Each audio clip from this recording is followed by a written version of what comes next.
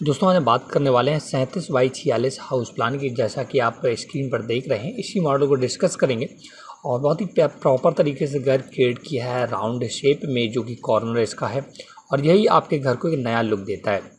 जो जो मैंने घर क्रिएट किया है, इसमें स्टेयर्स मैंने बाहर से दी हैं और आप देख पा रहे हैं ओपन स्टेयर्स हैं जिससे आप चढ़ेंगे और टर्न हो जाएगा। इसको क्लोज करने का तरीका भी मैं बताऊँगा और जो पूरा मकान है थ्री साइड क्लोज्ड है पिलर और बीम पर टिका हुआ है। इसके बाद कंस्ट्रक्शन देखिए, ईंटों का टेक्सचर जो मैंने दिया है, वो आप देख सकते हैं। पहले सबसे पहले नीचे बीम दी हुई है, इसके बाद ऊपर बीम मतलब पिलर बने हुए हैं सारे बीम के, और इसके बाद आपका ऊपर बीम है। तब आपका छत बना हुआ है और पूरा ईंटों का स्ट्रक्चर ओवरऑल बना है, जो कि सैंतीस बाई छियालीस फीट में मकान है।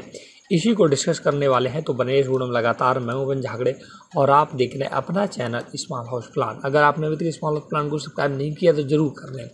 तो दोस्तों, आज का जो मॉडल है, दोस्तों, आज का जो प्लान है, वो बहुत ही प्रॉपर तरीके से वेल प्लान बना हुआ है।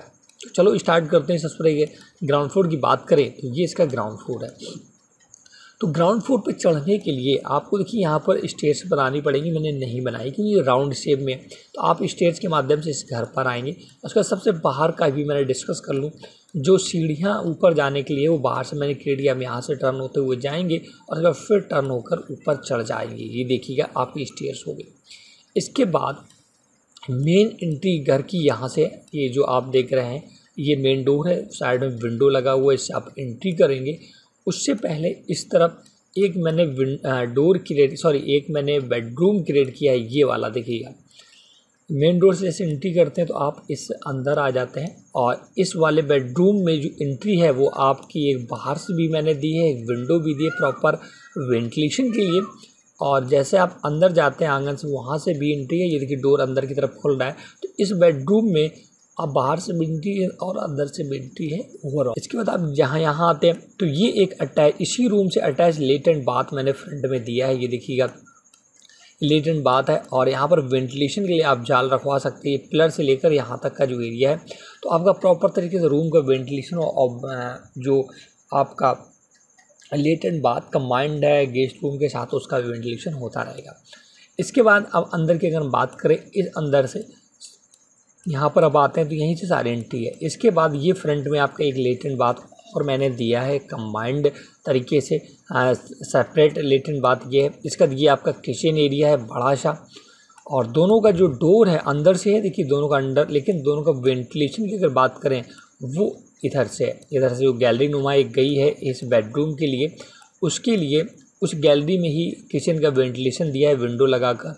और बाथरूम का लेट एंड बाथ का भी यहाँ पर वेंटिलेशन दिया है। तो बाहर से गैलरी ऐसी आई हुई है तो इस बेडरूम के लिए गैलरी आई, इस कॉर्नर के लिए, इससे इसमें वेंटिलेशन भी होता रहेगा इस बेडरूम का और यहाँ से डोर भी दिया है। और इस वाले बेडरूम में एक अंदर से भी डोर है, ये देखिए अंदर से भी डोर है तो दो डोर आपको मिल जाता है। इसके बाद इस कॉर्नर पर आपको एक बेडरूम मिलता है। देखिए, बड़ा सा बेडरूम है, जिसका विंडो मैंने एक इधर साइड में दिया है, साथ ही साथ डोर आपका इधर से मिल जाता है। इसका इस, ये आपका अटैच्ड लेटेंट बात, बड़ा सा अटैच लेटेंट बात है जो कि डोर मैंने दिया है। इस बेडरूम के अलग से अटैच लेटेंट बात है बेहतरीन सा। इसके बाद ये, इस बेडरूम के लिए भी अटैच लेटेंट बात ये एक दिया हुआ है। तो ये तीनों बेडरूम के लिए सेपरेट लेटेंट बात मैंने क्रिएट किया और ये वाला जो एरिया है, ये वेंटिलेशन के लिए जाल रखवा सकते हैं आप आराम से यहाँ पर तो सारी चीज़ों का वेंटिलेशन होता रहेगा। तो इस घर में तीन बेडरूम है और चार लेटेंट बाथ है मतलब कि तीन तो अटैच्ड लेटेंट बाथ है बेडरूम के साथ और एक सेपरेट है, इसके बाद एक किचन है और दो वेंटिलेशन के लिए है और एक छोटा सा आँगन और फ्रंट में एक बेहतरीन सा डिज़ाइन आपको देखने को मिलता है। जूम करके दिखाता हूँ, इससे और आपको प्रॉपर तरीके से घर दिख सके। बाहर मैंने रेड कलर की ईटों का टेक्सचर यूज़ किया है और अंदर ब्लैक कलर की ईटों का टेक्सचर यूज़ किया है। ये देखिए ओवरऑल ओवरऑल पूरा पिलर पर घर डिज़ाइन यहाँ पर कर दिया है।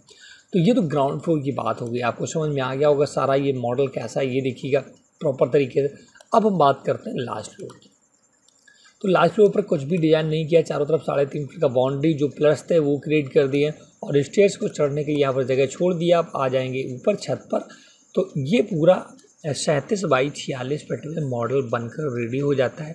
बहुत ही खूबसूरत वेल प्लान मकान है, इसमें वेंटिलेशन भी है लेटन बात भी है, सारा है। तो प्लान कैसा लगा ज़रूर बताएँ। वीडियो को लाइक, शेयर ज़रूर किया करें। चैनल को सब्सक्राइब नहीं किया तो ज़रूर कर लें। Thanks for watching.